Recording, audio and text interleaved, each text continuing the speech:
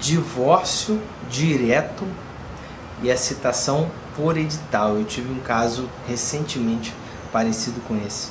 Nossa, mas como a justiça ainda não está preparada para não a justiça em si, mas o processo em si. Esse processo meu demorou um pouquinho, sabe? E graças a Deus eu acredito que nos próximos dias já esteja acabando. Mas demorou um pouquinho, um pouquinho demais. Então, no caso é o seguinte: você casou com um estrangeiro. Estrangeiro sumiu. Ele é um cidadão italiano. E aí você quer se divorciar dele. E aí, nesse caso, você tenta citá-lo na Itália, onde ele estava residindo, onde era o seu último endereço. Porque quando ele veio para o Brasil, ele estava morando na sua casa, por exemplo. E aí você tem que citá-lo lá por rogatória. Caso ele não seja citado lá, seja incerto e não sabido o lugar, o endereço dele, vai ser publicado edital aqui por três vezes. Depois de publicado o edital, vai para a Defensoria Pública como curador especial. Ela vai defender genericamente numa folha.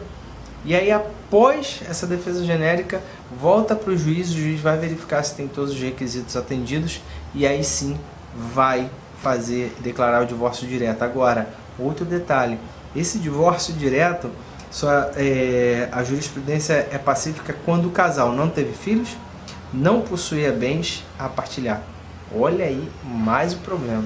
Então, só para vocês terem, eu queria falar dessa questão do divórcio. Então, quando você, brasileiro ou brasileira, casar com alguém do exterior, é, é muito importante tentar fazer esse processo consensualmente, tentar localizá-lo de alguma maneira e tentar buscar isso consensualmente, porque caso isso não seja viável, o processo vai ser um pouco mais demorado, um pouco muito mais demorado.